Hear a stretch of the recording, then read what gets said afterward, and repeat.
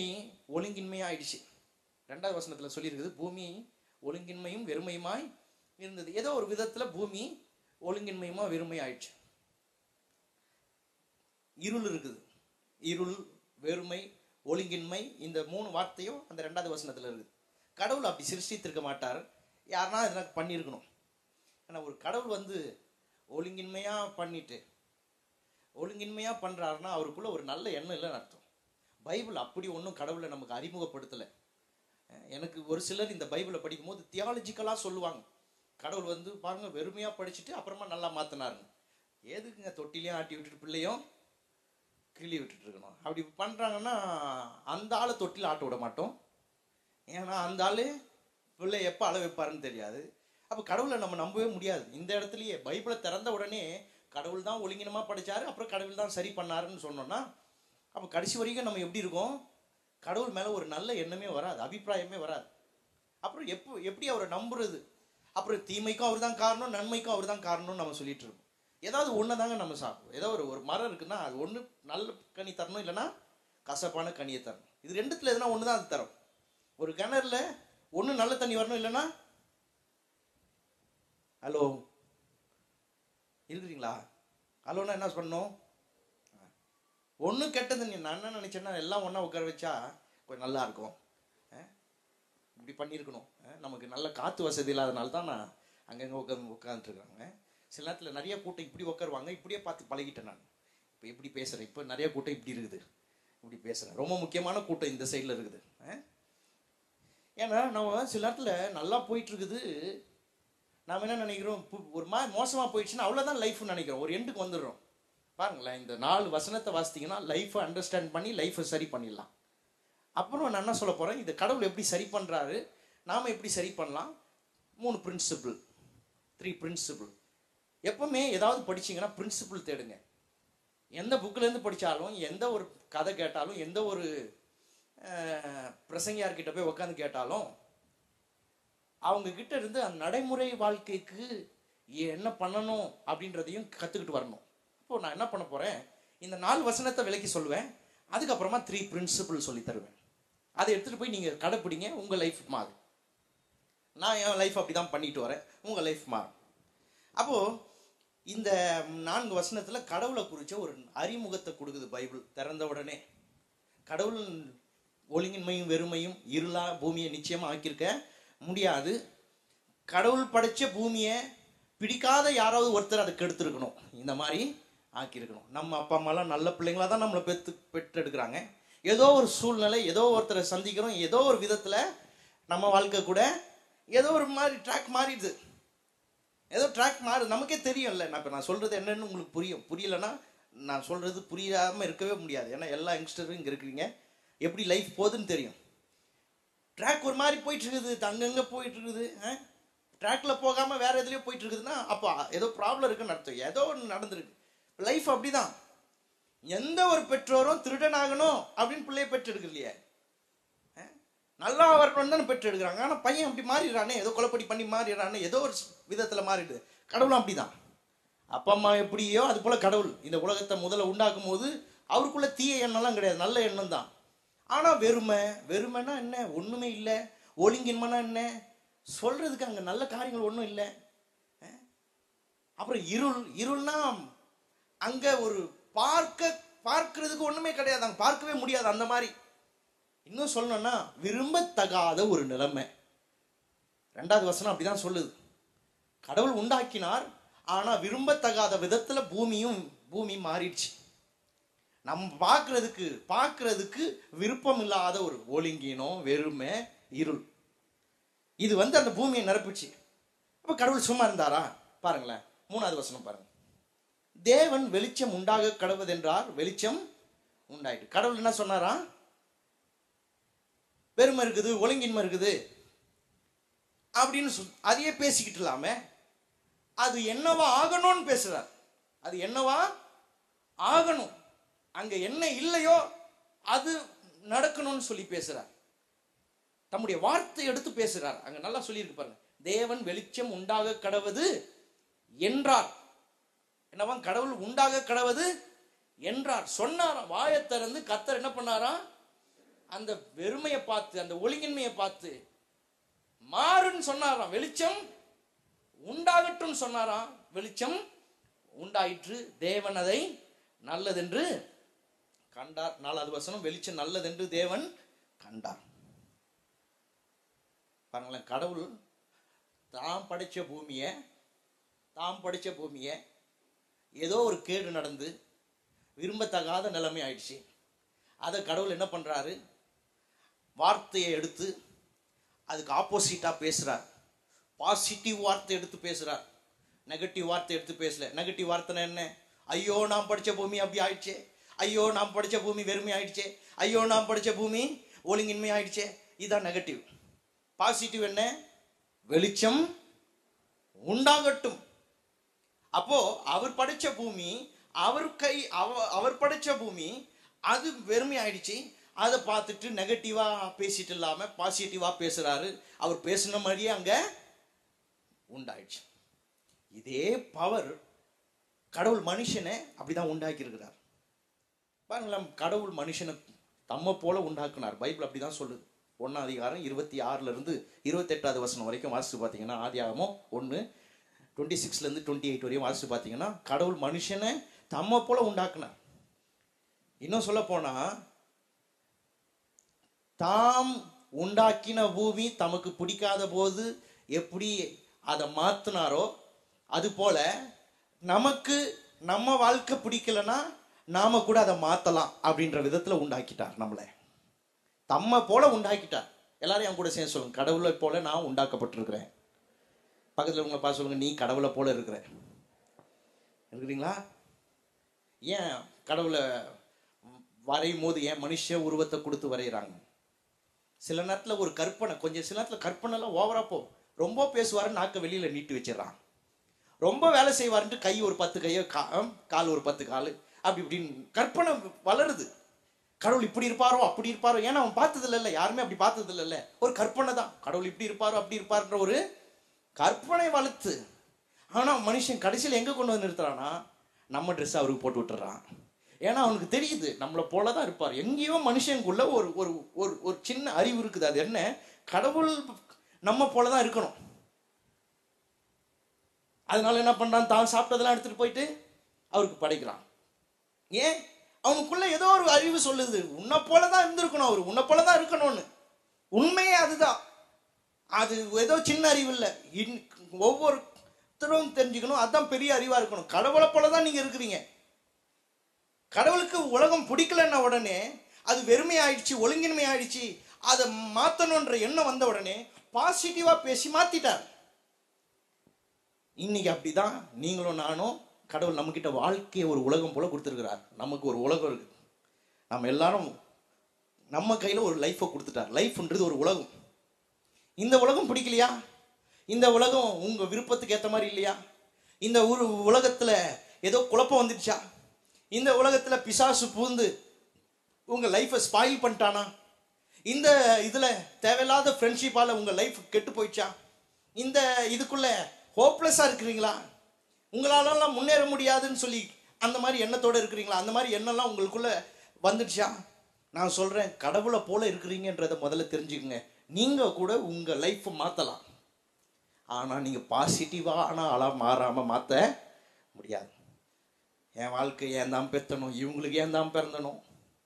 போயும் போயும். இவங்களுக்கு நம்ம அப்பா அம்மா சொல்லுவாங்க. உன்னை பெற்றதுக்கு ஒரு கல்லை பெற்றுருக்கலாம் பெக்க- சொல்லுங்களேன் கல்லை. ஆ? ஒருத்தருக்கு சொல்கிறாங்க உன்னை பெற்றதுக்கு ஒரு நாயை பெற்றுருக்கலாம் நாயெல்லாம் பெற்று ஒன்றும் பண்ண முடியாது.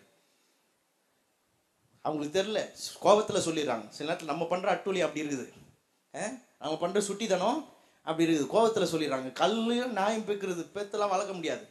ஆ? அது நாய் நாய் பெத்தாதான் வளர்க்க முடியும். இப்போ கல்லில் பெத்து ஒன்றும் பண்ண முடியாது. ஆனால் லைஃப்பில் நம்ம ஒரு சில நேரத்தில் ஏதோ ஒரு விதத்தில் நம்ம லைஃப்பில் ஏதோ பிசாஸ் பண்ணிட்டான் நம்ம குழப்பத்தை ஏற்படுத்தி நம்ம லைஃப்பை எப்படி ஆண்டவருடைய உலகத்தில் கூட அவன் பூந்து குழப்பத்தை ஏற்படுத்தினானோ கடவுளுடைய உலகத்திலேயே அவன் குழப்பம் ஏற்படுத்த முடியும் நம்ம உலகத்தில் பண்ணாமல் இருக்க முடியாது. ஆண்டவர் படைச்ச பூமியிலேயே அவன் உள்ள நுழைஞ்சி இருளும் வெறுமையும் ஒழுங்கின்மையும் ஆக்க முடியும்னா நம்ம லைஃப்பையும் பண்றதுக்கு அவனுக்கு முடியும். அதனால கடவுள் வந்து ஐயோ பிசாஸ் இப்படி பண்ணிட்டானே. ஐயோ இந்த மாதிரி ஆட்கள் என் லைஃபை கெடுத்துட்டாங்களே. என் லைஃப்ல நான் ஹோப் ஹோப்லெஸ்ஸாக இருக்கிறேனே. நான் இனிமேலாம் ஷைன் ஆக முடியாது முன்னேற முடியாது அப்படின்னு சொல்லிட்டு கடவுள் உட்காந்துட்டு இல்லை. உடனே பாசிட்டிவா பேசுறார். வெளிச்சம் உண்டாக கடவுள் என்றால் வெளிச்சம் உண்டாயிற்று வெளிச்சம் நல்லது என்று கண்டார். அப்ப என்ன பண்ணோம்? நீங்களும் உங்க லைஃப்பை பாசிட்டிவா பேச கத்துக்கணும். இந்த ஏர் முடியலையே இந்த ஏர் ஸ்டார்ட் தானே இருக்குது. சரி கொஞ்சம் தள் தடுக்கி விழுந்துருக்குறீங்க. ஒருவேளை ஸ்டக்காக இருக்கலாம் எங்கேயோ போய் மோதி இருக்கலாம். அதனால நீங்கள் வந்து விட்டு கொடுத்துடக்கூடாது ஐயோ இந்த ஏரே அப்படிதான் இருக்கணும். ஒரு நெகட்டிவாக பேசினா வாழ்க்கையை மாற்ற முடியாது. இருக்கிறதே பேசிட்டு இருந்தீங்கன்னா உங்கள் வாழ்க்கையை மாற்ற முடியாது. அதனால தான் கடவுளுடைய வார்த்தை சொல்லுது ஆண்டவருடைய வார்த்தை சொல்லுது அவருக்கு பிடிக்கலன்ன உடனே பாசிட்டிவாக பேசினார். பிடிக்காத உலகத்தை பாசிட்டிவாக பேசி தான் மாற்ற முடியும். இன்னைக்கு உங்கள் லைஃப்பை உங்களுக்கு பிடிக்கலையா? ஐயோ ஏன் இந்த மாதிரி இருக்கிறேன் ஏன் இந்த மாதிரி நிலைமை ஏன் இந்த மாதிரி? நீங்கள் சொல்லணும் ஒவ்வொரு முறையும் சொல்லணும். நான் நல்லா வருவேன். நல்லா வர்றதுக்கு கடவுளுடைய உதவி இருக்குது. என்னை நல்லா ஆக்குவார். நான் வாழ்க்கையில் முன்னேறுவேன். நான் வெற்றி பெறுவேன். தோற்று போயிருந்தாலும் இந்த தோல்வி எனக்கு ஜெயமாக மாறும். நானும் சக்ஸஸ்ஃபுல்லாக இருப்பேன். நான் ஏழையாக இருக்க மாட்டேன். நான் நல்லா சம்பாதிப்பேன். நான் திரும்பவும் நல்லா வாழ்வேன். ஒருவேளை இந்த விஷயத்தில் தோற்று போயிருந்தா அதே விஷயத்தில் நான் திரும்பவும் வெற்றி பெறுவேன். ஏன்? கர்த்தர் அப்படிதான் இந்த உலகத்தை மாத்தினார். எங்கெல்லாம் வெறுமை இருந்துச்சோ அந்த வெறுமையை பார்த்துலாம் பேசுறார். உண்டாக கடவுது உண்டாக கடவுது உண்டாக கடவு ஆதி ஆகமம் ஒன்னா அதிகாரத்தை வீட்டில் போய் படிச்சு பாருங்களேன். ஹோம்ஒர்க் மாதிரி தரேன். வீட்டில் போய் படிச்சு பாருங்களேன். உண்டாக கடவுது உண்டாக கடவுது உண்டாக கடவுது திரும்ப திரும்ப திரும்ப சொல்றார். ஏன்? அவர் பாசிட்டிவா பேசினாதான் அது மாறும்னு கடவுளுக்கு நல்லா தெரிஞ்சு வச்சிருக்கார். இன்னைக்கு நமக்கு பிசாசு என்ன பண்ணிட்டான்? என்ன பேசி என்ன கண்டோன்னு. ஆனால் நான் சொல்கிறேன் நீங்கள் பேசுகிறதுல ரொம்ப முக்கியம் செலுத்தணும். இன்னைக்கு உங்கள் லைஃப்பை பற்றி பேசணும். இப்போ நம்ம பிகினிங்கில் தானே இருக்கோம். வருஷ துவக்கத்தில் தானே இருக்கிறோம். ரெண்டு மாதம் தானே இருக்குது இன்னும் பத்து மாதம் இருக்குது.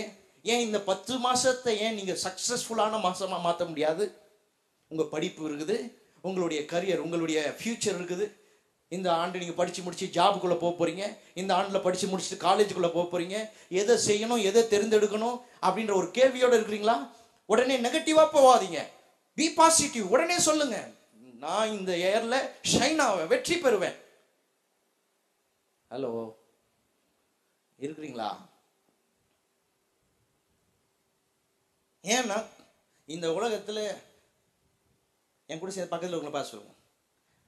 நீ நல்லா இருக்கணும்னா என்ன பார்க்காத?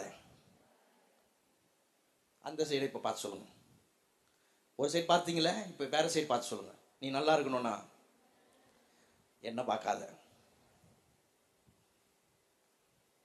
இன்னும் சேர்த்துக்கிறேன் இன்னும் சேர்த்துக்குங்க. நீங்கள் நல்லா இருக்கணும்னா வேற யாருமே பார்க்காதீங்க. கடவுளை பாருங்க. ஆண்டவரை பாருங்க. ஆண்டவர் அப்படி தான் ஆண்டவர் அப்படிதான் பண்ணார். யாரையுமே பார்க்கல. ஆனால் அவருக்கு ஒன்றே ஒன்று தெரிஞ்சது. பாசிட்டிவாக பேசினா லைஃப்பை மாற்றிடலாம் பாசிட்டிவாக பேசினா தான் உலகத்தை மாற்றிடலான்னு அவருக்கு நல்லா தெரிஞ்சிச்சு. இன்னைக்கு அதே போல தான் நம்மை உண்டாக்கியிருக்கிறார். நீங்கள் பாசிட்டிவாக பேசணும். உங்கள் லைஃப்பை மாற்றலாம் பாசிட்டிவாக பேசுறதுக்கு பைபிள் ரொம்ப உதவியாக இருக்கும். ஏன்னா இதில் நிறைய பாசிட்டிவ் பீப்புள் வாழ்ந்துருக்கிறாங்க. சக்சஸ்ஃபுல் பீப்புள் வாழ்ந்துருக்கிறாங்க. வாழ்க்கையில் வெற்றி பெற்றவர்கள் சாதித்தவர்கள் இந்த பைபிளில் இருக்கிறாங்க. இவங்க தான் இன்னைக்கு நிறைய கிறிஸ்டியன்ஸுக்கு பெரிய உறுதுணையாக இருந்து இன்னைக்கு நிறைய கிறிஸ்டியன் சக்ஸஸ்ஃபுல்லாக இருக்கிறதுக்கு காரணம் என்ன தெரியுமா? அவங்களாம் பாசிட்டிவாக பேசினாங்க. முடியாது நடக்காது வாய்க்காது கிடைக்காது நமக்கெல்லாம் கிடைக்காது. இப்போ எக்ஸாம் ஹாலுக்கு போகிறீங்கல்ல எக்ஸாம் ஹாலுக்கு போகும்போது ஒரு பிசாஸ் ஒன்று நின்றுன்னு இருக்குவாங்க. வாசல்லே ஒரு பிசாஸ் ஒன்று நின்றுட்டுருக்கும் ஃப்ரெண்டு உருவத்தில் நின்றுட்டுருக்கோம் எப்படி இருக்கும்? பயமாக இருக்குது. அவ்வளோதான் பயமாக இருக்குதுடா. அவ்வளோதான் எனக்கும் பயமா தான் இருக்குது. அவ்வளோதான் போச்சு. படிச்சதெல்லாம்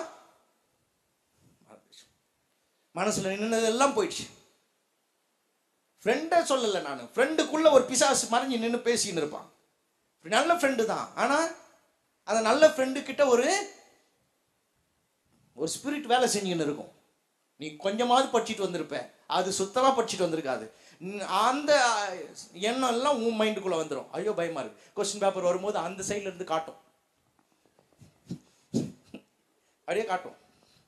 வந்துடும் நீங்க அங்க இருந்துக்கிட்டு ஓ ஃபர்ஸ்ட் வாங்கிட்டாங்களா அவங்க? ஃப்ரண்ட்ல இருந்து கொடுத்துக்கிட்டே வராங்கன்னு வச்சுங்களேன். அது ஃபர்ஸ்ட் ஸ்டாலில் அப்படி இருந்துச்சுன்னு வச்சுங்க. இன்னும் உங்க கையில வந்திருக்காது பேப்பர் நீங்க வர்றதுக்கு முன்னாடியே உதறின்னு இருப்பீங்க. அப்போ வந்தது வர்றது போது பேப்பரை ஃபேனில் கை எடுத்த போது ஒன்றுமே தெரியாது. அதனால தான் இந்த மாதிரி ஸ்பிரிட்டோடலாம் சேராதீங்க. நெகட்டிவான ஆட்களை பார்க்கவே பார்க்காதீங்க. ஆனால் நிறைய நெகட்டிவ் ஆட்கள் தான் நம்ம சுற்றி இருக்கிறாங்க. ஆனால் பைபிள் சொல்லுது தேடுங்கள் கண்டடைவீர்கள் சொல்லுது. என்ன சொல்லுது? தேடுங்கள் கண் பத்து ரூபாய் தொலைச்சிட்டு தேடுறதை பற்றி சொல்ல நம்ம ஆளுங்க அதை தானே தேடின்னு இருப்பாங்க. பைபிள் சொல்லுது சக்ஸஸ் பீப் சக்ஸஸ்ஃபுல் பீப்புளை தேடுங்க. யாரெல்லாம் சக்ஸஸ்ஃபுல்லாக இருந்தா? யாரெல்லாம் லைஃப்பில் ஷைன் ஆனா? யாரெல்லாம் வெற்றி பெற்றா அவங்க மட்டும் உங்கள் கண்ணுக்கு முன்னே கொண்டு வாங்க. நான் ரொம்ப காலமாக தோற்றவங்க சுற்றி தான் எனக்கு முன்னாடி இருந்தாங்க. தோற்றவங்க தான் எனக்கு பக்கத்தில் இருந்தாங்க. இப்போ கடவுள் எனக்கு என்ன எப்படிப்பட்ட வாய்ப்பு கொடுத்துருக்காருன்னா ஜெயிக்கிறவங்களை பக்கத்தில் வச்சுருக்கிறார். நான் நிறைய பேரை பார்க்க முடியுது என்னால். ஜெயிக்கிறவங்கள பார்க்க முடியுது. அதனால் ஒரு நம்பிக்கை. நம்மளும் லைஃப் லைஃப்பில் நல்லா வருவோம். அப்படி தான் வந்திருக்கிறேன். இன்னும் வருவேன்னு எனக்கு ஒரு நம்பிக்கை இருக்குது. இன்றைக்கி உங்களுக்கு சொல்கிறேன் தேடுங்க. சக்ஸஸ்ஃபுல் பீப்புள் யார் பாசிட்டிவாக பேசுவான்னு தேடுங்க. பைபிள் ஒரு பெரிய ஹெல்ப்பு இந்த பைபிளை படிச்சு பாருங்க உங்கள் லைஃப்பில் நீங்கள் பாசிட்டிவாக ஆட்டோமேட்டிக்காக பேச ஆரம்பிச்சிருவீங்க. அதே போல் இந்த சர்ச்சுக்கு வந்து நீங்கள் வாரம் வாரம் வந்து கேட்டிங்கன்னா இங்கே ரிலீஜியஸ் டீச்சிங்கே கிடையாது. இங்கே வந்து கேட்டிங்கன்னா இப்படி இப்போ பேசுகிறேன் இப்படி தான் வாரம் வாரம் பேசுகிறேன் இங்கே வந்து கேட்டிங்கன்னா உங்களுக்குள்ள நிச்சயமாக பாசிட்டிவான ஐடியா பாசிட்டிவான பேச்சு வந்துடும் ப்ரீச் பண்ணுற இடத்துக்கு போய் உட்காந்து கேளுங்க. கிடைக்கும் போது டைம் கிடைக்கும் போது வாங்க. இன்னைக்கு தான் வந்தவங்க தயவு செய்து கிடைக்கும் போது வாங்க. ஏன்னா உங்களுக்கு ஒரு- ஒரு நல்ல வாய்ப்பு. பாசிட்டிவாக லேர்ன் பண்ணிக்கணும். லேர்ன் பண்ணாமல் பேச முடியாது. அதுக்கப்புறமா பாசிட்டிவ் பீப்புளை சர்ச் பண்ணுங்க. அவங்கள சர்ச் பண்ணீங்கன்னா அவங்கக்கிட்ட நிச்சயமாக உங்களுக்கு வந்து ஒட்டிக்கும் அது. இருக்கிறீங்களா? இருக்கிறீங்களா?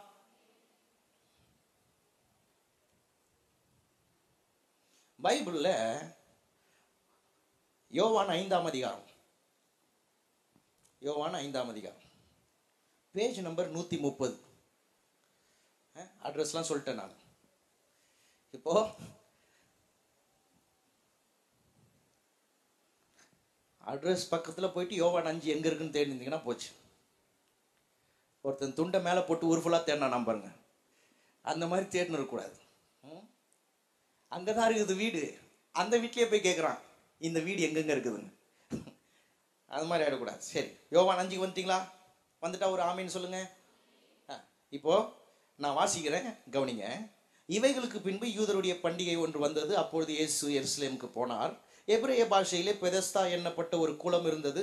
எருசலேமில் ஆட்டு வாசல் அருகே இருக்கிறது. அதற்கு ஐந்து மண்டபங்கள் உண்டு. அவைகளில் குருடர் சப்பானிகள் சூம்பின உறுப்புடையவர்கள் முதலான வியாதிக்காரர் அநேகர் படுத்திருந்து தண்ணீர் எப்பொழுது கலங்கும் என்று காத்து கொண்டிருப்பார்கள். ஏனெனில் சில சமயங்களில் தேவதூதன் ஒருவன் அந்த குளத்திலே இறங்கி தண்ணீரை கலக்குவான். தண்ணீர் கலங்கின பின்பு யார் முந்தி அதில் இறங்குவானோ அவன் எப்பேற்பட்ட வியாதியஸ்தனாக இருந்தாலும் சொசமாவான் ஐந்து. முப்பத்தெட்டு வருஷம் வியாதி கொண்டிருந்த ஒரு மனுஷன் அங்கே இருந்தான். படுத்திருந்த அவனை இயேசு கண்டு அவன் வெகு காலமாக வியாதியஸ்தன் என்று அறிந்து அவனை நோக்கி சொஸ்தமாக வேண்டும் என்று வேண்டுமென்று வேண்டும் என்று விரும்புகிறாயா என்றார். அதற்கு வியாதியஸ்தன் ஆண்டவரே தண்ணீர் கலக்கப்படும் போது என்னை குளத்தில் கொண்டு போய் விடுகிறதற்கு ஒருவனும் இல்லை. நான் போகிறதற்குள்ளே வேறொருவன் எனக்கு முந்தி இறங்கி விடுகிறான் என்றான். இயேசு அவனை நோக்கி எழுந்திரு உன் படுக்கை எடுத்துக்கொண்டு நட என்றார். உடனே அந்த மனுஷன் சொசமாகி தன் படுக்கை எடுத்துக்கொண்டு நடந்து போனான். அந்த நாள் ஓய்வு நாளாய் இருந்தது. இந்த கதையை சொல்லிடுறேன். அங்கே ஒரு குளம் இருக்குது. அந்த குளத்தில் ஒரு நம்பிக்கை. யார் வந்து தேவதூதன் வந்து கலக்குவானா? யார் ஃபஸ்ட் அதில் இறங்குறாங்களோ அவங்களுக்கு சுகமாயிடுவாங்க. அவங்க எப்பேற்பட்ட வியாதியார வியாதிக்காரராக இருந்தாலும் சுகமாயிடுவாங்க. அப்போ எப்பேற்பட்ட வியாதியாக இருந்தாலும் சுகமாக முடியும்னு ஒரு நம்பிக்கை அங்கே இருந்துச்சு. அந்த நம்பிக்கை உங்களுக்கும் இருக்கணும். எப்பேற்பட்ட பிரச்சனையும் தீரும் எப்பேற்பட்ட தோல்வியும் மாறும்ன்ற ஒரு நம்பிக்கை முதல்ல உங்களுக்கு வரணும். வராமல் நீங்கள் வந்து சேஞ்ச் ஆகுறது ரொம்ப சேஞ்ச் பண்ணுறது ரொம்ப கஷ்டம். சேஞ்சுன்றதே மாற்றம்ன்றதே எப்போ வரும்னா எந்த நிலைமையும் மாறும். மாறாதது ஒன்றுமே இல்லை. மாறும். அதை மாற்றக்கூடிய கடவுள் இருக்கிறார். அதை மாற்றக்கூடிய வழியை ஏற்படுத்தி தருவார். மாற்றுவதற்கு உதவிலாம் செய்வார்னு ஒரு நம்பிக்கை உங்களுக்கு வராமல் மாற்றத்தை பார்க்குறது ரொம்ப கஷ்டம். தயவுசெய்து புரிஞ்சுக்குங்க. அந்த குளத்தாண்ட வியாதியஸ்தர்கள்லாம் உட்காந்துருக்குறாங்க என்ன நம்பிக்கையில் உட்காந்துருக்குறாங்க எப்பேற்பட்ட வியாதிக்காரராக இருந்தாலும் சொஸ்த ஆக முடியும். இருக்கிறீங்களா? யாருக்கு அந்த நம்பிக்கை இருந்துச்சு? வியாதிக்காரர்களுக்கெல்லாம். அப்போ நீங்கள் தோற்று போயிருக்கலாம். வாழ்க்கையில் ஒன்றும் இல்லாமல் இருக்கலாம். வாழ்க்கையில் ரொம்ப ஏழையாக இருக்கலாம். பிரச்சனையில் இருக்கலாம்.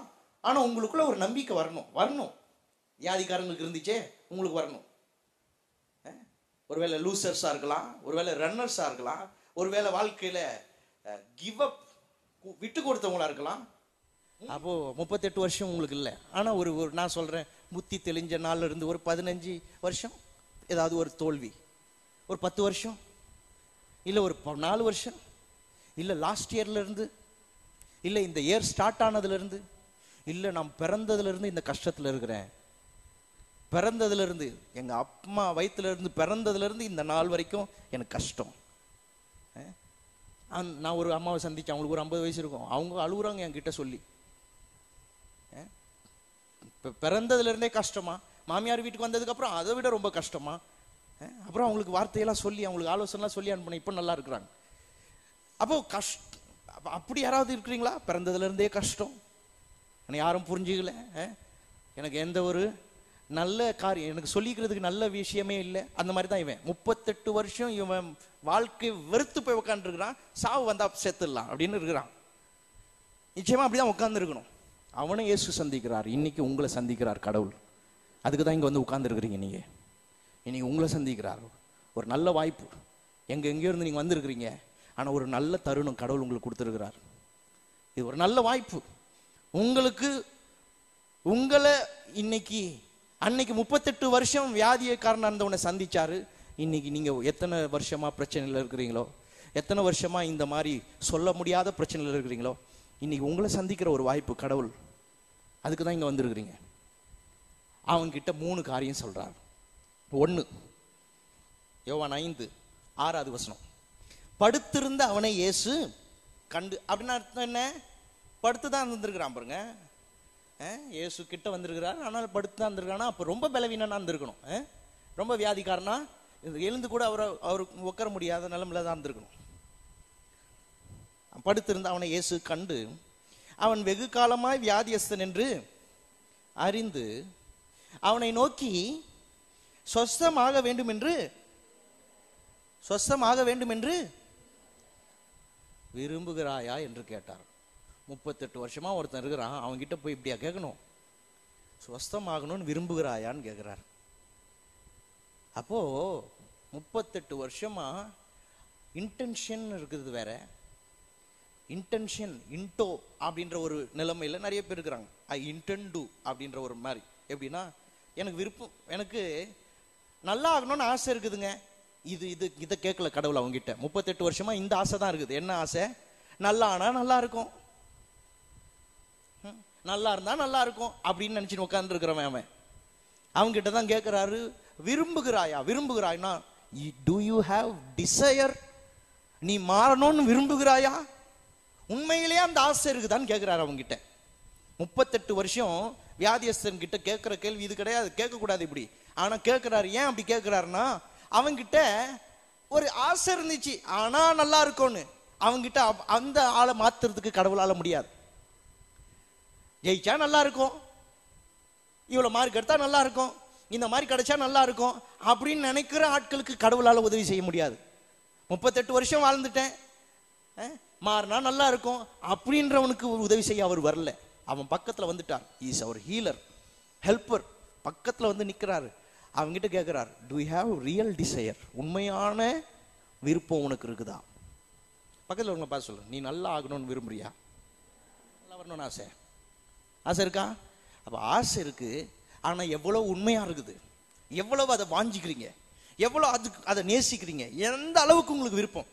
ஏன்னா இந்த முப்பத்தெட்டு வருஷம் ஆளுக்கு வெறுத்து போயிடுச்சு. இனிமே என்ன அப்படின்னு இருக்கிறவன் அவங்ககிட்ட தான் கேட்குறாரு நல்ல நடந்தால் நல்லா இருக்கும்ன்ற ஒரு மனுஷனுக்கு கடவுள் செய்ய முடியாது. நல்லா இருக்கணும் நான் நல்லா ஆகணும். உண்மையிலேயே நான் அதை வாஞ்சிக்கிறேன். என் லைஃப்பில் நான் சக்ஸஸ்ஃபுல்லாக இருக்கணும். நான் அதை விரும்புறேன். அதுக்காக எந்த முயற்சியும் எடுப்பேன். நான் நல்லா இருக்கணும்.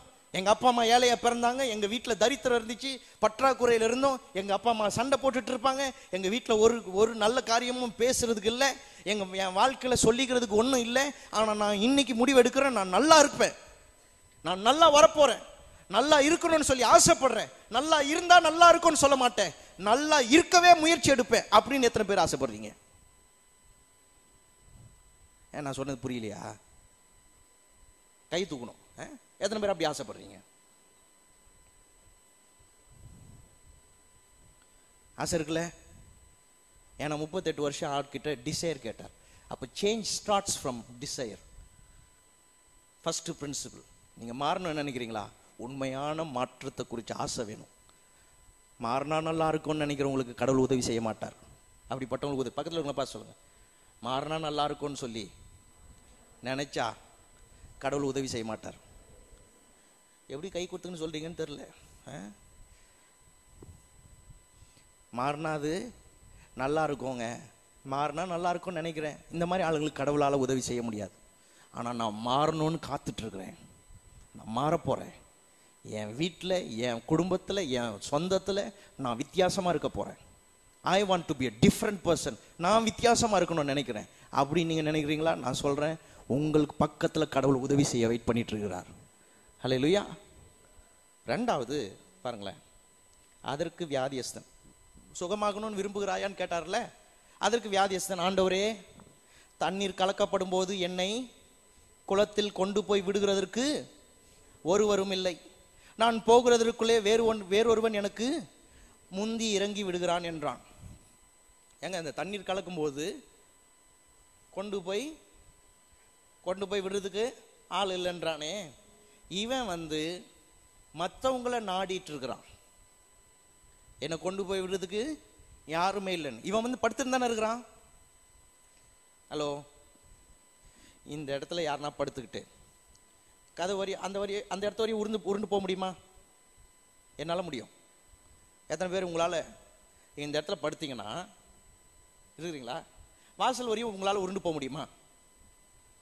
ஹலோ தூக்கத்தில் தானே செய்கிறீங்க வீடு சின்னதாக இருக்கிறதுனால ஒரு குறிப்பிட்ட அளவோட அதனால தான் பார்டர்லாம் போட்டு வச்சிருக்கிறாங்க. எங்கள் பாப்பாவுக்கு ஒரு தலைக்கணி வச்சு சைடில் வச்சுட்டு அந்த பக்கம் தாண்டவே மாட்டான் ஆ? படுத்து போவீங்களே. இவன் சொல்கிறான் என்னை கொண்டு போய் விடுகிறதுக்கு யாருமே இல்லைன்றானே. இவன் வந்து சாக்கு சொல்கிறான் ஃபஸ்ட்டு வந்து do you have real desire மாறணும்னு உண்மையான ஆசை இருக்கா? அப்போ மாற முடியும். ரெண்டாவது சாக்கு சொன்ன மாற முடியாது. Don't give excuse never give excuse வாழ்க்கையில் மாறணும்னா எக்ஸ்கியூஸ் சொல்லாதீங்க. மாறணும்னு நீங்க நினைச்சீங்கன்னா நீங்க பண்ண தப்பை உணர்ந்துருங்க. ஐயோ நான் மாறாதது காரணம் நான் வந்து முயற்சி எடுக்காதது தான். மாறாதது காரணம் அவங்க காரணம் இவங்க காரணம் என்னை கொண்டு போய் விடுறதுக்கு ஆள் இல்லை. இப்படி சொல்லி சொல்லி வாழ்ந்துட்டான் இப்போ அவன் படுத்துக்கிட்டே போயிருந்தா கூட முப்பத்தெட்டு நாளில் சுகமாக இருக்கலாம் அப்படிதானங்க? ஒரு ரோல் ஒரு ரோல் ஒரு நாள். அடுத்த ரோல் ஒரு நாள். என்ன? அடுத்த ரோல் ஒரு நாள். இப்படியே முப்பத்தெட்டு வருஷம் இருந்தானே முப்பத்தெட்டு நாள்லயே அந்த ரோல் அதுல போயிட்டு விழுந்துட்டு இருக்கலாம். அப்படிதானே? ஹலோ? சரி இப்படி கணக்கு பண்ணுங்க. ஒரு ரோல் அதுக்கு அடுத்த மாசம் இருக்குங்களா ஆமையை விட ரொம்ப மோசமான ஆளாக இருப்போம் அதுக்கு அடுத்த மாதம் அப்படின்னா முப்பத்தெட்டு மாசத்துல? முப்பத்தெட்டு மாசத்துல உருண்டு போய் விழுந்திருக்கான் ஆனா இவன் எப்படி உட்காந்துட்டு இருக்கிறான்? என்னை கொண்டு போய் விடுறதுக்கு யாரும்? அப்படின்னா மற்றவங்கள காரணம் சொல்லிக்கிட்டு தான் மேல எந்த குறையும் இல்லை. அப்போ இந்த மாதிரி இருக்கிறவங்க முப்பத்தெட்டு வருஷம் இல்லை. முன்னூத்தி எண்பது வருஷம் வாழ்ந்தா கூட வா- வாழ்க்கையில மாற முடியாது. இன்னைக்கு நீங்க எக்ஸ்கியூஸ் சொல்லிக்கிட்டு இருக்கிறீங்கன்னா உங்களுடைய ஃபெயிலியருக்கு எக்ஸ்கியூஸ் சொல்லிக்கிட்டு நான் இப்படி இருக்கிறதுக்கு இவங்க தான் காரணம் நான் இப்படி இருக்கிறது இதுதான் காரணம் நான் இப்படி இருக்கிறது இது இந்த காரணம் அப்படின்னு சொல்லி காரணம் சொல்லிட்டு இருக்கிறீங்கன்னா நீங்க வாழ்க்கையில மாறவே பக்கத்தில் பக்கத்துல உங்க பாசுங்க சாக்கு சொன்னா மாற மாட்டேன். ஏன்பா சர்ச்சைக்கு வரல? வேலை இருந்துச்சு. நீ வந்து மாறுறது ரொம்ப கஷ்டம். சாக்கு எதுக்கேத்தாலும் சாக்கு. எல்லாத்துக்கும் சாக்கு. எதையும் சொல்லுவாங்க. செத்த பாட்டியோ திரும்பவும் எடுத்து திரும்பவும் சாகடிப்பாங்க. பாட்டி செத்து மூணு நாலு வருஷம் ஆயிருக்கும்.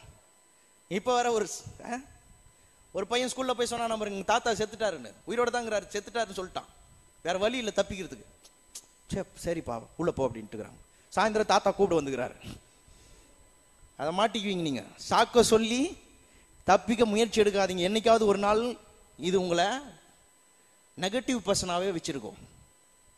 சாக்கு சொல்லிட்டு இருக்கிறான் முப்பத்தெட்டு வருஷமா இவன் மற்றவங்க என்ன கொண்டு போய் விடல மற்றவங்க என்ன கொண்டு போய் விடலன்னு உட்காந்துருக்கிறான் இவனாவே உருண்டு போய் விழுந்திருக்கலாம் பாருங்க. ஆனா அந்த மாதிரி ஆளு சாக்கு சொல்ற ஆளால மாற முடியாது. அடுத்து கடைசி. இயேசு அவனை நோக்கி எட்டாவது வசனம் பாருங்க. இயேசு அவனை நோக்கி எழுந்துரு உன் படுக்கையை எடுத்துக்கொண்டு நட என்றார். இயேசு அவனுக்கு சொல்றாரு ஏன்னா பாசிட்டிவ் பர்சன் இயேசு. அவனை பார்த்து சொல்றாரு உன் படுக்கை எடுத்துட்டு படுத்துட்டு இருக்கிறவன சொல்றாரு எழுந்து நடன் அவங்க கிட்ட ஒரு பவர்ஃபுல்லான வார்த்தையை சொல்லிட்டார். இவன் அதை கேட்டு அதுக்கேத்த ஆக்ஷன் ஆக்ஷன் பண்ண அவ்வளவுதான். அந்த வார்த்தைக்குள்ள கடவுளுடைய வல்லமை இருக்குது. அவன் கேட்டானே அந்த வார்த்தை ஜீவனுள்ள வார்த்தை வல்லமையான வார்த்தை. இவன் அந்த வார்த்தை எப்படி செய்யணும் எதெல்லாம் ஒன்றும் பண்ண தேவையில்ல. அப்படியே ஆக்ட் பண்ண வேண்டியதுதான். எழுந்து நடன் நடன்னு சொன்னாரு. அந்த வார்த்தைக்கு தேவன் வல்லமையை வச்சு அவங்கிட்ட கொடுக்குறாரு. நீ உடனே படு படுக்க எடுத்துக்கொண்டு நடன் கேட்டவன் இப்போ என்ன பண்ணும்? ஆக்ட் பண்ணா போதும். இருக்குங்களா அடுத்து அவன் படு எழுந்துக்கிற ஒரு ஒரு ஒரு ஒரு முயற்சி எடுத்தா போதும். ஏன்னா இவன் நடந்ததே இல்லையே. இப்போ இவனை நடக்கணும்னா ஒரே ஒரு வழி இருக்குது. அவன் எழுந்துக்கிற மாதிரி ஒரு ஒரு ஒரு அசைவை ஏற்படுத்தினா போதும். ஏன்னா கடவுளுடைய வார்த்தையில் இருக்குது அவனை எழுப்புற வார் வல்லமை. ஆனா இவன் எழுந்துக்கணும்னா இவனுக்கு என்ன தேவை? ஒரு ஆக்ஷன் தேவை. இருக்கிறீங்களா? அங்க எப்படி சொல்லியிருக்கு பாருங்க. ஐந்து ஒன்பது. உடனே அந்த மனுஷன் சொஸ்தமாகி தன் படுக்கை எடுத்துக்கொண்டு நடந்து போனான். உடனே எல்லாம் சொல்லுங்க உடனே. மூணு காரியம். ஒன்று டிசையர் எல்லாம் சொல்லுங்க டிசையர் ரெண்டாவது நோ எக்ஸ்கியூஸ் சொல்லுங்க என் கூட சேர்ந்து. நோ எக்ஸ்கியூஸ் மூணாவது take immediate action immediate action சொல்லுங்க டேக் இமிடியட் ஆக்ஷன் உடனே நடந்தான். ஆண்டவரே முப்பத்தெட்டு வருஷம். அடுத்த வருஷம் நான் ட்ரை பண்றேன்னு சொல்லியிருந்தான்னு வச்சுங்க. இவர் போயிட்டு இருப்பார் அவன் முப்பத்தி ஒன்பதாவது வருஷம் கண்டினியூ ஆயிருந்திருக்கும். உடனே எழுந்து நடந்தான்னு சொல்லியிருக்குது பைபிள்ல. அப்படின்னு அர்த்தம் என்ன? நவ் இஸ் த டே இன்னைக்கே நீங்க ஆரம்பிக்கணும். நாளைக்கு பார்த்துக்கிறேன். நாளன்னைக்கு பார்த்துக்கிறேன். அடுத்த வாரம் பார்த்துக்கிறேன். அடுத்த மாசத்துலேருந்து செய்கிறேன் அடுத்த மாசத்துல இருந்து நான் ஜெபிக்கிறேன். அடுத்த மாசத்துல இருந்து சர்ச்சுக்கு ஒழுங்காக போவேன். இந்த பேச்சுக்கு இடம் இல்லை. இன்னைக்கு ஆரம்பிங்க. ப்ரேயர் பண்ணாதவங்க இன்னைக்கே ப்ரேயர் பண்ணுங்க. கடவுளை தேடாதவங்க இன்னைக்கே கடவுளை தேடுங்க. லைஃப்ல என்னெல்லாம் செய்யாமல் இருந்தீங்களோ இன்னைக்கு அது இப்பவே ஆரம்பிங்க. முப்பத்தெட்டு வருஷம் எழுந்து நடந்தது கிடையாது. ஆனால் அவனுக்கு ஒரு ஒரு பவர்ஃபுல் வேர்ட் கிடைக்குது. என்ன வேர்டு எழுந்து நட. யாரோ சொல்லல. கடவுள் அவன் முன்னாடி நின்று சொல்றாரு எழுந்து நடன்னு. அந்த வார்த்தையை அவன் கேட்டான். இப்ப அவன் என்ன பண்ணும்? இப்பவே எழுந்துக்கணும். உடனடியாவே அவன் தீர்மானம் எடுக்கணும். நான் இப்பவே அந்த வார்த்தை கீழ்ப்படிய போறேன். இப்பவே நான் செயல்பட போறேன். அவன் உடனே நடந்தான் இருக்குது. அவன் அர்த்தம் என்ன? டேக் ரைட் நவ் இந்த நேரத்துமே முடிவெடுங்க நீங்க என்ன செய்யாம இருந்தீங்களோ அதை செய்யறதுக்கு இன்னைக்கே முடிவு எடுங்க. ஹலோ ஹலோ எனக்கு சத்தம் வேணும். ஹலோ லைஃப்பை சேஞ்ச் பண்ணுறதுக்கு உங்கள் கையில் இருக்குது. டிசையரை கொண்டு வாங்க. தேர்ட்டி எயிட் இயர்ஸ் ஒரு மனுஷனுக்கு நடந்தால் நல்லா இருக்கும்னு நினச்சி வாழ்ந்துட்டான். நான் சொல்கிறேன் நீங்கள் தேர்ட்டி எயிட் இயர்ஸ் போயிட்டு யோசிக்கக்கூடாது இன்றைக்கே கடவுள் ஒரு வாய்ப்பு கொடுத்துருக்காரு. ஸ்டார்ட் நவ் இன்றைக்கே ஆரம்பிங்க. ஒரு டிசையரை கொண்டு வாங்க. நான் மாறணும். எங்கள் வீட்டை போல் இருக்கக்கூடாது. நான் நான் சொல்கிறது ஒரு நெகட்டிவான வீட்டை பற்றி சொல்கிறேன் நெகட்டிவான ஒரு ஆட்களை பார்த்து சொல்கிறேன் அந்த மாதிரி நான் இருக்கக்கூடாது. என் வாழ்க்கையில் நான் I want to live with dignity நான் தரமாக வாழ விரும்புகிறேன் கண்ணியமாக வாழ விரும்புகிறேன் நான் போய் மற்றவங்ககிட்ட கடன் வாங்கி கை நீட்டி மற்றவங்க என்ன தருவாங்களோ இந்த ஓசியில் இப்போ கவர்மெண்ட்டில் தான் பண்ணிட்டு இருக்குது. ஓசியில் நிறைய கொடுத்து இன்னும் ஏழைகளாகவே நான் என் வீட்டில் காசு கொடுத்து டிவி வாங்கி வைப்பேன். என் வீட்டில் நான் காசு இப்போ ஓசிலேயே லேப்டாப் தராங்க அதுக்கு வேற ஒரு சண்டை. ஆ? இந்த ஓசியெல்லாம் நம்பி இருக்காதீங்க. நான் சொல் நம்ம கடவுளுடைய பிள்ளைங்க நம்மலாம். ஓசியை நம்பி கடவுள் நம்மளை வாழ வைக்கல. நீங்கள் வாங்குறது எல்லாமே குவாலிட்டியாக இருக்கணும். இருக்குதுங்களா? ஒருத்தங்க ஒரு ஃபோன் எடுத்து வந்து கொடுத்து இதில் பாட்டு ஏற்றித்தாங்கன்னாங்க இதில் பாட்டு போட்டு தெரியான்னாங்க. நான் சொன்னேன் இதை கீழே மட்டும் தான் போட முடியும். ஏன்னா இது பழைய ஃபோனு அதில் பாட்டுலாம் போ நீங்கள் போடவே முடியாது. நீங்கள் வச்சுருந்தா நல்ல தரமான வீடை கட்டணும். நீங்கள் லைஃப்பில் சாதிக்கணும் முன்னேறணும். நீங்கள் லைஃப்பில் நல்லா வரணும். கடவுள் அதுக்கு உதவி புரிவார் ஆண்டவர் அதுக்கு தான் இருக்கிறார். இங்கே இருக்கிற ஒவ்வொரு வாலிபனுக்கும் அப்படிப்பட்ட ஒரு ஆசையை இன்னைக்கு ஏற்படுத்தி இருக்கிறார். நீங்க இன்னைக்கு முடிவெடுங்க. நான் மாறுவேன். என் கூட சேர்ந்து சொல்லுங்கள் நான் மாறுவேன். நான் சொல்கிறேன்னு நீங்கள் சொல்லக்கூடாது. உங்களுக்குள்ள அந்த ஆசை வரணும். உங்களுக்குள்ள அந்த ஆசை இல்லைன்னா நான் சொல்றேன் நாங்களாம் மாறிடுவோம் நீங்க மட்டும். அப்படியே இருப்பீங்க. பக்கத்தில் இருக்கவங்கள பார்த்து சொல்லு. நான் மாற போறேன். இந்த சைடில் இருக்கிறவங்க பார்த்து சொல்லு. நீ எப்படியோ எனக்கு தெரியாது. ஆ? சேரை பார்த்து சொல்லிடக்கூடாது. அது மா அது மாறாது. அது வார வாரம் அப்படி தான் இருக்கும். வேணா ஃப்யூச்சரில் மாற்றிடலாம் நீங்கள் மாறணும். ம்? சொல்லுங்கள் நான் மாற போகிறேன் ஆமேன். மாறணுன்ற ரியல் டிசைர் எடுத்துட்டு வாங்க நான் மாறுவேன். எங்கள் வீட்டில் எங்கள் சொந்தக்காரங்க மத்தியில் நான் நல்லா மாறி நல்லா இருப்பேன். ரெண்டாவது ஸ்டாப் டெல்லிங் எக்ஸ்கியூஸ் தயவு செய்து எக்ஸ்கியூஸ் சொல்லவே சொல்ல சாக்கு சொல்லவே சொல்லாது. தப்பு பண்ணிட்டா ஒத்துக்குங்க. ஐயா நான் தப்பு பண்ணிட்டேன். தப்பு பண்ணிட்டேன். என்னை மன்னிங்க. நான் மாறுறேன். ஆமாம் நான் நெகட்டிவான ஆளாக இருந்துட்டேன். இனிமேல் நான் பாசிட்டிவான ஆளாக இருக்கிறேன். ஸ்டாப் டெல்லிங் எக்ஸ்கியூஸ் இதுக்காக தான் எடுத்தேன் அதுக்காக தான் பண்ணேன் இதுக்காக தான் பண்ணேன். இதெல்லாம் இதெல்லாம் தேவையில்லாது. அவங்க கூட தான் சொல்லுகிறான். அவங்க வந்து என்னை கூட்டிகிட்டு போல இவங்க வந்து என்னை கூட்டு போல. என் மச்சான் கூட என் சைடு தான் வந்தான் கூட்டு போய் விடல. எங்கள் அக்கா பையன் வந்தான் என்னை கூட்டு போய் விடல. கருத்து சொன்னாரா? அவங்களாம் கூட்டு போல அவங்கள கூட்டுன்னு வா நான் அவங்கள பார்த்துக்கிறேன்னு சொன்னாரா? கிடையாது. நீ எழுந்து நட. எதுக்காக? எக்ஸ்கியூஸ் சொல்லுகிறவனை கர்த்தர் பார்த்துக்கிட்டு ஆமாம்ப்பா நீ சொன்னது சரின்னு சொல்லிட்டு இருந்தாரா? கிடையாது. உனக்கு யாரும் இல்லைலாம் கிடையாது. நான் இப்போ உன் பக்கத்தில் இருக்கிறேன். உன் பக்கத்தில் இருக்கிறேன். நான் நீங்க சொல்றேன் கடவுள் உங்க கையை பிடிச்சிருக்கிறார். சொல்றாரு நான் உன்னை விட்டு விலகுவதும் இல்லை உன்னை கைவிடுவதும் இல்லைன்னு சொல்லியிருக்கிறார். இதுக்கு மேல உங்களுக்கு என்னங்க ஒரு ஆ- ஆதரவு தேவை? கடவுள் உங்க பக்கத்தில் இருந்துட்டு இருக்கிறார் அன்னைக்கு அந்த முப்பத்தெட்டு வருஷம் பிரச்சனையில் இருக்கிற மனுஷன் பக்கத்தில் நின்னாரு. இன்னைக்கு எத்தனை வருஷம் நீங்க இருக்கிறீங்கன்னு தெரில உங்க பக்கத்தில் நிற்கிறாரு ஹெல்ப் பண்றதுக்கே நிற்கிறாரு சொல்லுங்க என் கூட சார் ஜீசஸ் ஹெல்ப் மீ சொல்லுங்க இயேசுவே எனக்கு உதவி செய்யும். ஹலோ லூயா மூணாவது டேக் இம்மிடியட் ஆக்ஷன் இப்போவே நீங்கள் மாறுறதுக்கான காரியத்தை செய்யணும். இருக்கிறீங்களா? நாளையிலிருந்து பண்ணுறேன்னா நான் சொல்கிறேன் நாளையில நாளை உங்களுக்கு வேற வேலை வந்துடும் ஹலோ ஹலோ இப்போ உடம்பு குறைக்கணும்னு ஒரு முடிவு எடுத்துக்கிறீங்கன்னு வச்சுக்கோங்க. நிறைய பேர் உடம்பு ஒல்லியாக தான் உடம்பு குறைக்கணும்னு முடிவு எடுத்துக்கிறீங்கன்னு வச்சுக்கோங்க.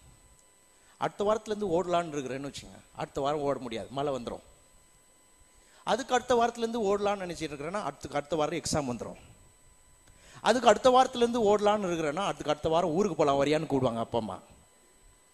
அதுக்கு அடுத்த வாரத்துலேருந்து ஓடலாம். ஊருக்கு போய் ஓடலான்னா ஊருக்கு போன உடனே நல்லா டயர்டாக இருப்பீங்க தூங்கிடுவீங்க. அதுக்கு அடுத்த வாரம் ஓடலான்னா ஊருக்கு நம்ம வந்த ஊருக்கு வந்த ஊருக்கு திரும்பவும் போயிடலாம். சென்னைக்கு போயிடலாம். அதுக்கு அடுத்த வாரம் காலையில் தொடங்கிடும். அதுக்கு அடுத்த வாரம் அவ்வளோதான் ஸ்டடி பிஸி ஆகிடும் அப்போ என்ன ஆயிடுது? அடுத்து அடுத்து அப்புறம் அப்புறம் சொல்ல சொல்ல என்ன ஆகுது? சாக்கு சொல்ல சொல்ல இமிடியட் ஆக்ஷன் எடுக்காதவர்கள் என்ன ஆயிடுறாங்க? அவங்க செய்ய நினைச்சதை செய்ய முடியாமையே போயிடும். த்ரீ பிரின்சிபிள் எல்லாரும் மைண்டில் பதிய வச்சுட்டு போங்க. ரியல் டிசையர் சொல்லுங்க. உண்மையான ஆசை. சாக்கு சொல்லக்கூடாது. உடனே கீழ்ப்படிய வேண்டும்.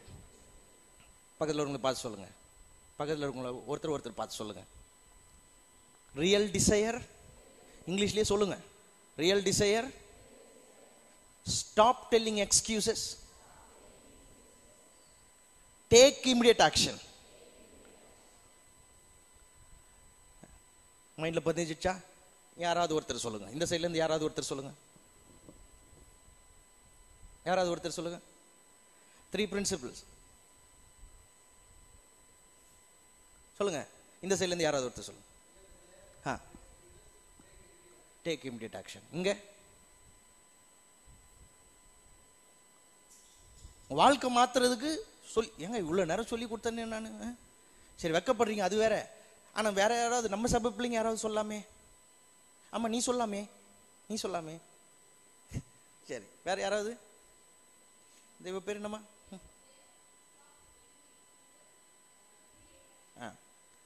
மூணு காரியம் தமிழ்ல சொல்லிடுறேன் உண்மையான ஆசை சாக்கு சொல்லக்கூடாது உடனே கீழ்ப்படிய வேண்டும் இருக்கிறீங்களா சரி எலும்பி நிற்பலாம் ப்ரேயர் பண்ணலாம் எத்தனை பேருக்கு நான் சொன்னது பிரயோஜனமாக இருந்துச்சு நான் கேட்குறேன் ரிப்போர்ட் கேட்குறேன் எத்தனை பேருக்கு நான் சொன்னது பிரயோஜனமாக இருந்துச்சு? இதை போய் ஃபாலோ பண்ணி பாருங்கள் வீட்டில் போய் திங்க் பண்ணி பாருங்கள் நான் சொன்னது எவ்வளோ? உதவியாக இருக்கும்னு பாருங்கள் கடவுள் நிச்சயமாக உங்களுக்கு உதவி செய்வார்னு நினைக்கிறேன். உங்களால் மாற்ற முடியும். உங்களுக்கு பிடிக்கலன்னா நினச்சிட்டு இருக்காது பிடிக்கலன்னா லைஃப் இப்படி தான் போல இருக்குது. நினச்சிடாது என்றைக்குமே முடிவு எடுத்துடாது உங்கள் அப்பா அம்மா வாழ்க்கை வேணால் தோற்று போயிருக்கலாம். உங்கள் அக்கா வாழ்க்கை வேணால் தோற்று போயிருக்கலாம்.